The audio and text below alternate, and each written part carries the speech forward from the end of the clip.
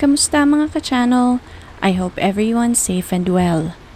Ako po si Shasha at sa channel pong ito, aking ibinabahagi ang ilang mga crime stories na naganap hindi lamang dito sa Pilipinas, maging sa ibang sulok ng mundo.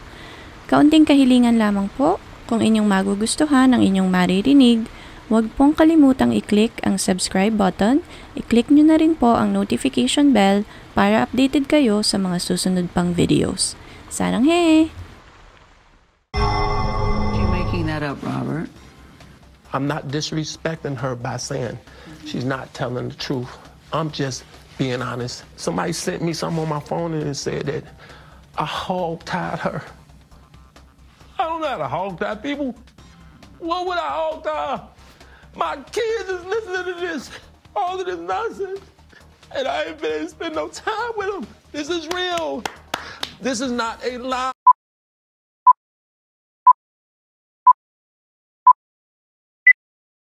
Ang kasong ating itatampok sa video na ito ay iikot sa mundo ng music industry sa US. Ayon sa datos, ang music industry na ito ay tinatayang may net worth na 25.9 billion. Noong taong 2021 lamang, kumita ang industriyang ito ng humigit kumulang 15 billion in revenue. Nasa US din ang may pinakamalaking porsyento ng mga taong nagbabayad o nakasubscribe sa mga streaming services tulad ng Spotify, Apple Music at iba pa. 82.1 million ng 523 million na paid subscribers ay nakabase sa US, dominated by Universal Music Group, Sony Music Entertainment at Warner Music ang music industry sa United States. Isa sa mga pinakasikat na singer, rapper ng henerasyon niya, si R. Kelly.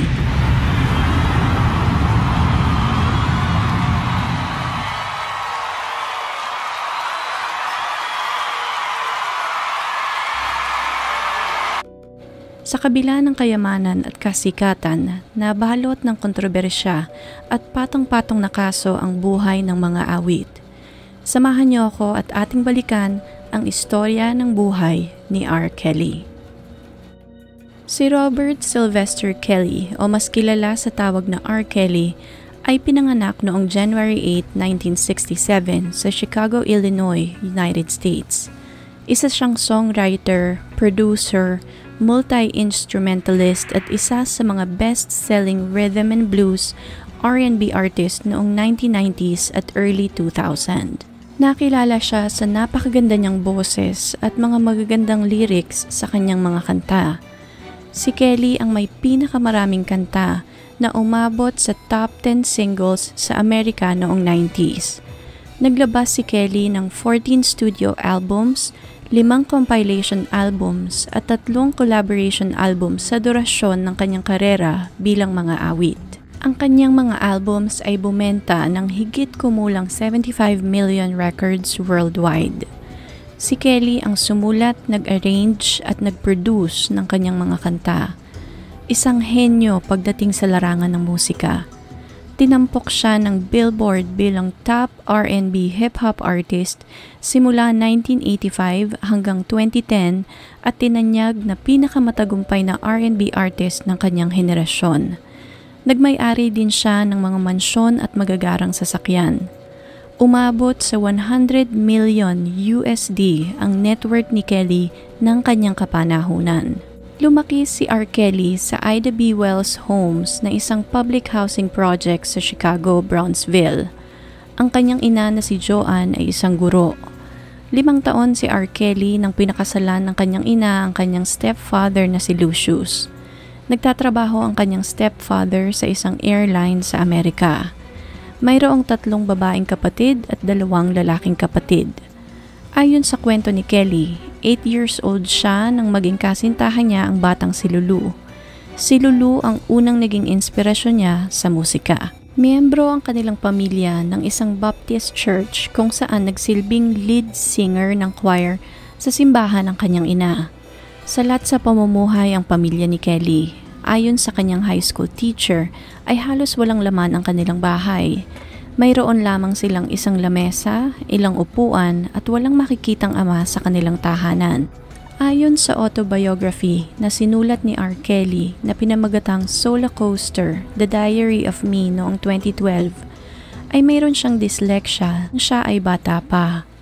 Hirap siyang matutong magsulat at magbasa. Dahil sa sakit na ito, palagi siyang nagkakating classes at nagtatago sa isang lumang music room na may abandonadong piano at dito ay tinuruan niya ang kanyang sarili kung paano gumamit ng piano. Naging basketball player din si Kelly ng high school. Ito ang naisip niyang tanging paraan para makagraduate siya ng high school. Nakaranas din siya ng sexual na pang-aabuso mula sa nakatatandang kapatid niyang babae na si Teresa simula ng walong taong gulang pa lamang siya. Pinatotohanan naman ito ng isa sa kanyang mga kapatid na si Curry dahil kasama di umano siya ni Kelly habang inaabuso sila ng nakatatandang kapatid. Nang sampung taong gulang naman si Kelly ay isang kaibigan ng kanyang pamilya naman ang umabuso sa kanya. Labing isang taong gulang naman si Kelly nang mabaril siya sa balikat habang sakay siya ng kanyang bisikleta. Pinag-interesan di umano ng kanyang mga kaibigan ng kanyang bike, ngunit pinabulaanan ito ng ilang mga kaibigan at sinabing nagtangka di umano si Kelly na kitlin ang kanyang buhay. Ang balang tumama kay Kelly ay nasa balikat pa rin niya magpasa hanggang sa kasalukuyan. Lumipat ang pamilya ni Kelly sa isang mas maayos na komunidad noong 1983. Inenroll siya ng kanyang ina sa Kentwood Academy, isang public school sa Chicago at dito ay nakilala ni Kelly si Lena McLean na nagsilbing music teacher at pangalawang ina ni R. Kelly maiilarawan ang style ng pag-awit ni Kelly as church-trained. Dahil laking simbahan, naging klaro ang balanse ng pagiging relihiyoso at pagiging makamundo sa pagsulat niya ng kanta. Maiilarawan ang style ng pag-awit ni Kelly as church-trained. Dahil laking simbahan, naging klaro ang balanse ng pagiging relihiyoso at pagiging makamundo sa pagsulat niya ng kanta. 17 years old si Kelly nang isinali siya ni Miss McLean sa isang talent show kung saan inawit niya ang kantang Ribbon in the Sky ni Stevie Wonder. Dito niya unang naramdaman ang sayang hatid ng pag-awit at pagiging sikat. Ayon kay Kelly, ginawa niyang trabaho ang pagkanta sa mga subway station gamit ang kanyang Casio keyboard at kalimitan ay nagpapanggap siyang bulag para hindi siya hulihin ng mga pulis. Taong 1990 nang sumali si Kelly at ang kanyang grupong MGM sa talent show na Big Break. Nanalo ang grupo ni Kelly ng grand prize at premyong $100,000.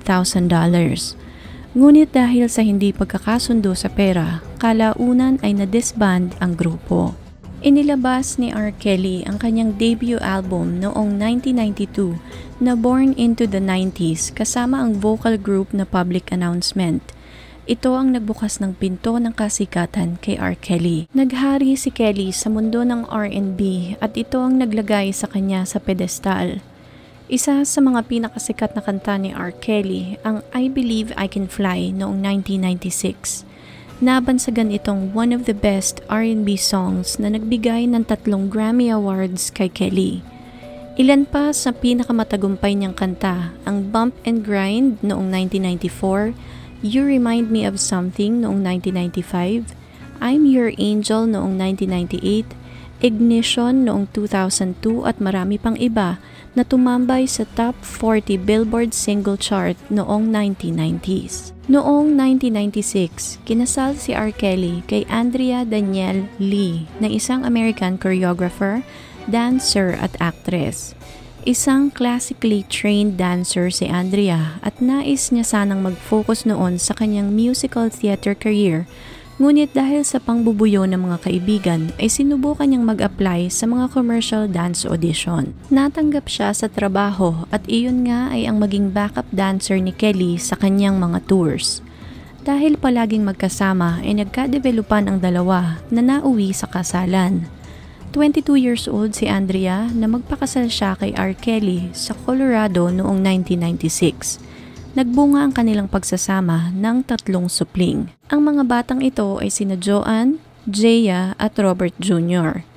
Matapos ang sampung taon, nag-file ng divorce si Andrea dahil sa pisikal na pang-aabuso di umano sa kanya ni R. Kelly. Na-finalize ang kanilang divorce noong 2009 at tumanggap di umano si Andrea ng malaking halaga bilang alimony mula kay Kelly. Ngunit sa kabila ng kasikatan, nabalot ng kontrobersya ang buhay ni R. Kelly. Patong-patong na kaso ang kinaharap ni R. Kelly sa loob ng dalawang dekada at karamihan dito ay tungkol sa sexual na pang-aabuso. Nagsimula ito noong 1994 27 years old si R. Kelly di umano nang sekreto nitong pinakasalan ang singer na si Aliyah na 15 anyos pa lamang ng panahong iyon. Pinakasalan di umano ni R. Kelly si Aliyah upang makaligtas sa mga kasong maaaring idulot nito.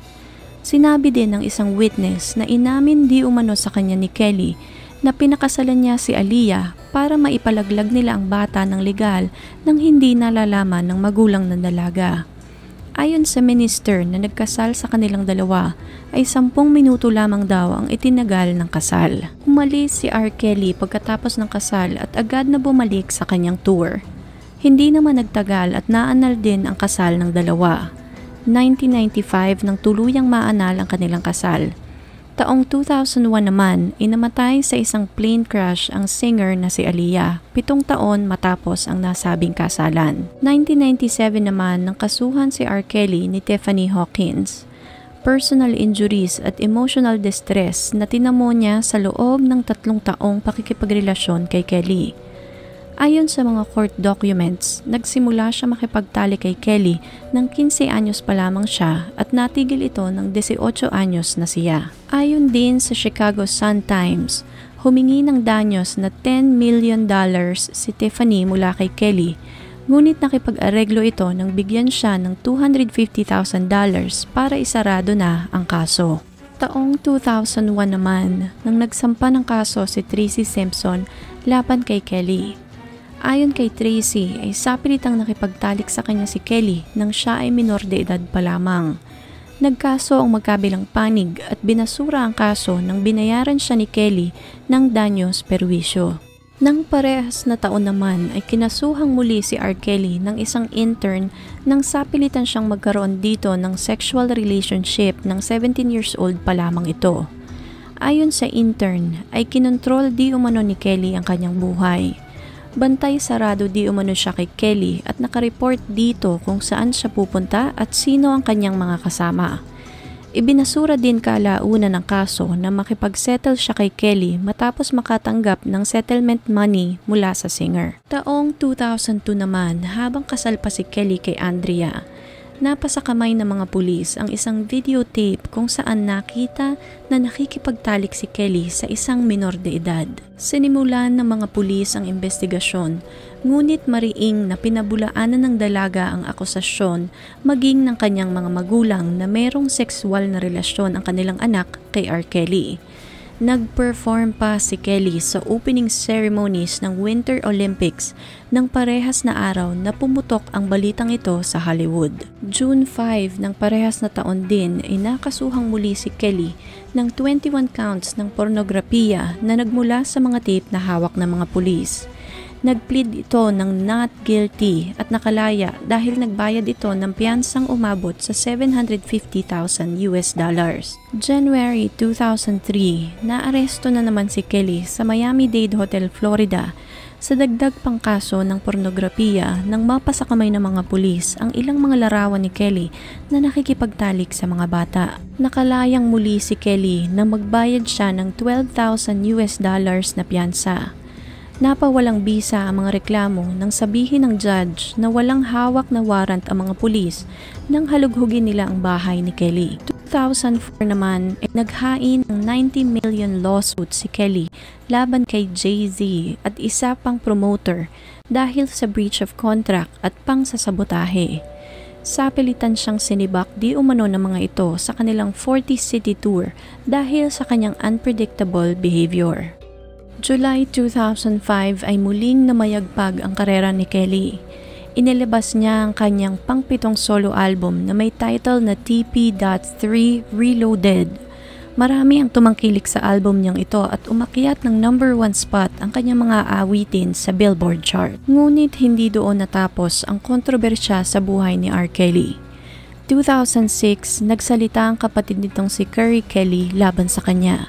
Di umano ay inalok siya ng kanyang kapatid ng 50,000 US dollars cash at isang record label kapalit ng pag-amin nito na siya ang nasa likod ng mga videotapes na hawak ng mga pulis. Hindi nagpatinag si Kelly, ilang buwan matapos ang aligasyong ito, inilabas ni Kelly ang kanyang album na Double Up at muli tumambay ito sa Billboard album chart sa number 1 spot.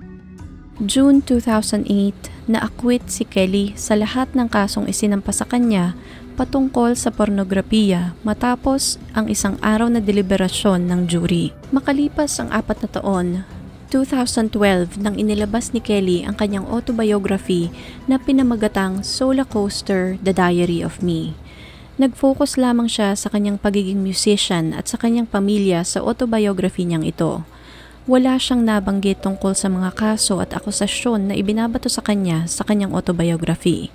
Dalawang nominations naman mula sa Soul Train Awards ang natanggap ni Kelly ng parehas na taon na nagbigay sa kanya ng titulong Most Nominated Act Ever sa isang award show. 2017, nang magsimula na naman ang pagyanig sa buhay at karera ni Kelly. Ayon sa BuzzFeed reports ay may mga reklamo di umano mula sa mga magulang ng biktima ni R. Kelly. Ayon sa mga magulang na ito ay binrainwash di umano ni Kelly ang kanilang mga anak at ikinulong sila sa isang mapang-abusong kulto. Naglabas din ang mga aktivista ng isang movement na tinawag na hashtag Mute R. Kelly na may panawagang i-boycott ang musika ng mga awit. May 10, 2018, Inalis ng music app na Spotify ang mga album ni Kelly dahil sa paglabag sa kanilang polisiya. Nang parehas na taon, tinanggal din ng Apple Music at Pandora ang mga kanta ni Kelly sa kanilang platform. Nangyari ang pinakamatinding dagok sa buhay ni R. Kelly noong 2019 inere ng network na BBC ang isang dokumentaryong pinamagatang Surviving R. Kelly kung saan tinipon ang mga babaeng di umano ay naging biktima ng mga awit. Walong babae ang nagpahayag ng kanilang istorya at binalikan nila sa palabas na ito ang mga pang-aabusong natanggap nila mula kay R. Kelly. Dahil dito, ng parehas na taon, binitawan ng Sony at RCA Records si R. Kelly. May 30, 2019, sinampahang muli ng Federal Grand Jury ng labintatlong panibagong kaso ng sexual na pang-aabuso si R. Kelly. Inaresto siya ng mga pulis habang inilalakad niya ang kanyang cute na aso. Kabilang sa mga kasong ito ay ang racketeering, pornografiya, pang-aakit sa mga minor de edad at obstruction of justice. Bukod sa mga kasong kinaharap sa Chicago, nakasuhan din si Kelly sa Eastern District of New York ng pangingidnap, forced labor at sexual na pang-aabuso sa mga bata. Hindi na pinayagan ng federal judge na makalaya ang singer at iginiit na may dala itong matinding panganib sa mga bata kung siya ay muling makakapagpiyansa. August 5, isa pang kaso ang nadagdag sa patong-patong ng kasong kinakaharap ni Kelly. Ito naman ay ang pagkakaugnay nito sa isang 17 years old na babae. Niyaya di umano ni Kelly ang batang ito sa isang hotel room at binigyan ng $200 para magsayaw sa harap niya ng nakahubad. August 2021, nagsimula ang trial ni R. Kelly patungkol sa kanyang kasong trafficking matapos ang pagkapospon dahil sa pandemya. Naglabas ang gobyerno ng detalyadong kaso upang patunayan na si Kelly ay guilty beyond reasonable doubt. Nagdala din sila ng daang-daang ebidensya at 45 witnesses Labing isa sa mga ito ay pawang mga naging biktima ni R. Kelly. Habang umiiyak ay idinetalya nila kung paano silang inabuso ng sexual, mental, pisikal at verbal ng mga awit. Siniguro ng korte na mayroon silang sapat na ebidensya na magdidiin kay R. Kelly. Sobra ang lawak ng pinaggagawa ni R. Kelly at sa dami ng kanyang mga inabuso, nag-escalate ang kaso niya sa racketeering. Ayon sa mga testimonya sa korte, ang mga pang-aabuso ni Kelly ay nagsimula pa ng early 90s. Ang mansion niya sa Lakeview, Chicago ang nagsilbing kulungan ng kanyang mga biktima. Mayroon itong limang kwarto at lawak na 8,400 square foot. Mayroon itong roof deck, elevator, exercise center na may steam room at sauna, malalaking walk-in closet, isang magarang kusina na puno ng Wolf, Mill, and Gagano appliances. Lumipat naman siya sa kanyang Olympia Fields mansion na tinawag niyang Chocolate Factory. Dito niya ipinagpatuloy ang kanyang masamang gawain. Mayroon itong lawak na 22,000 square foot, mayroon din itong labing anim na kwarto, walong bathrooms, indoor jungle themed pool, apat na fireplace, isang game room, boxing ring, movie theater, isang kwartong puno ng salamin, isang log cabin at dalawang recording studio at isang private lake. Sinabi ng mga witness na habang nasa kustodiya sila ni R. Kelly, ay kailangan nilang sumunod sa mga napakaraming istriktong batas. Hindi sila pwedeng basta-basta lumabas ng kwarto nang hindi nagpapaalam. Minsan di umano ay ginugutom din sila ng mga awit. Minsan din ay pinagbabawalan silang pumunta sa banyo. Ang komunikasyon nila sa kanilang pamilya ay bantay sarado din. Ultimong pananamit nila ay kontrolado din di umano ni R. Kelly. Maluluwag na damit lamang ang pwede nilang isuot, mga damit na hindi hakab ang kanilang mga katawan tanging si R. Kelly lamang daw ang pwedeng makakita ng kanilang katawan. Ipinag-utos din di umano ni Kelly na daddy ang itawag sa kanila ng mga ito. Pinagbawalan din silang makipag-usap o makipag-eye contact sa kahit na sinong lalaki. Malimit ay nakatungo lamang sila o nakaharap sa pader kapag kasama nila si R. Kelly. Nagsalita din ang isang tauhan ni R. Kelly na si Antonio Navarro Nagsimula siyang magtrabaho kay R. Kelly noong 2007 bilang isang runner. Pinatunayan niya na sobrang higpit ang seguridad sa mansyon ni R. Kelly.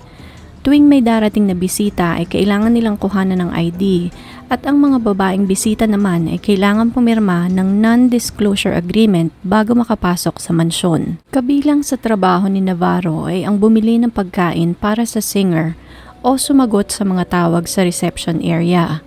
Kinumpirma niya na marami sa mga tawag na kanyang nasagot ay mula sa mga taong nasa loob na ng mansyon na humihingi ng permiso na lumipat papunta sa ibang parte pa ng mansyon. Hindi di umano sila maaaring mag-ikot sa loob ng mansyon ng walang permiso. Kinumpirma din ng kanyang mga empleyado na may mga naka-install na kamera sa karamihan ng kwarto sa bahay. Bugbog o pagkakakulong sa kwarto o deduction sa sweldo ang kabayaran ng isang pagkakamali. Ayon din sa mga babaeng testigo, pinilit din daw sila ni R. Kelly na makipagtalik sa iba pa nitong mga kasintahan Kalimitan ay binibidyohan din ni Kelly ang pagtatalik nila at ito pa raw ang nagdedirek o nagsasabi ng kanilang mga galaw. Ni minsan ay hindi rin daw gumamit ng proteksyon si Kelly habang nakikipagtalik ito sa kanila.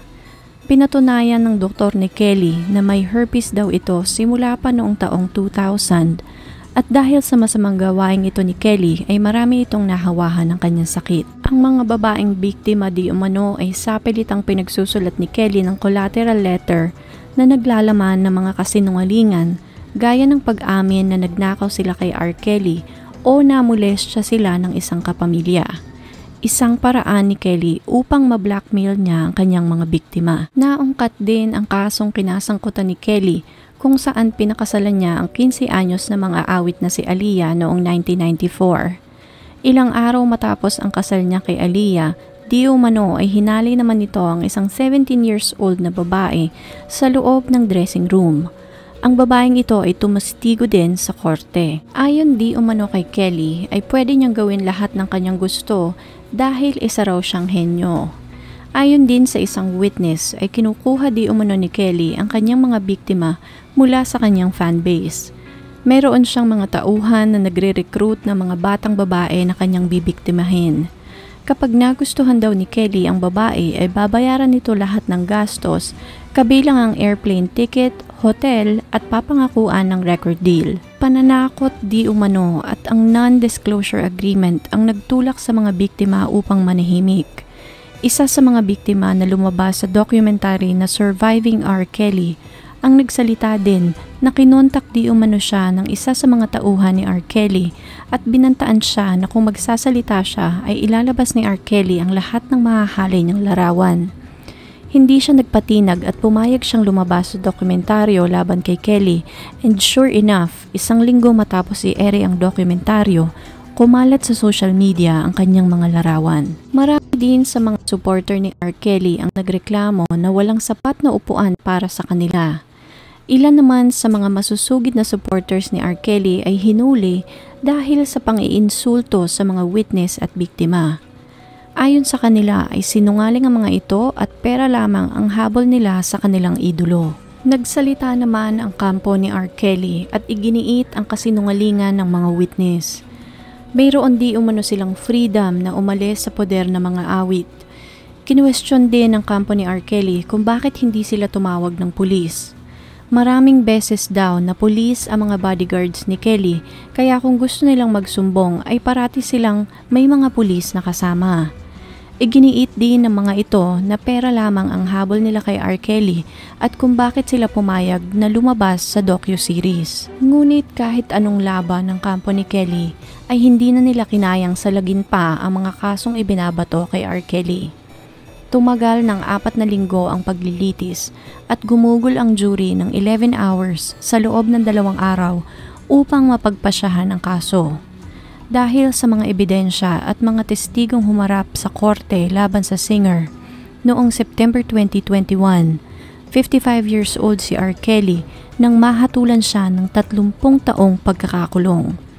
Ngunit hindi pa doon natatapos ang mga kinakaharap ni R. Kelly. Maari pa itong madagdagan dahil may mga kaso pa siyang nakabinbin sa Minnesota at ilan pang kaso naman sa state court sa Chicago. Bago nangyari ang lahat ng ito, tinatayang umabot ng 100 million dollars ang net worth ni R. Kelly. Naubos lahat ng kanyang ari-arian at pera dahil sa mga kasong kinaharap niya at matapos ang lahat, lumagapak sa negative 2 million ang net worth ng mga awit. Si R. Kelly na minsang naging tanyag sa buong mundo, nagkamal ng limpak-limpak na salapi dahil sa kanyang talento, ay nakakulong ngayon sa Metropolitan Correctional Center sa Chicago.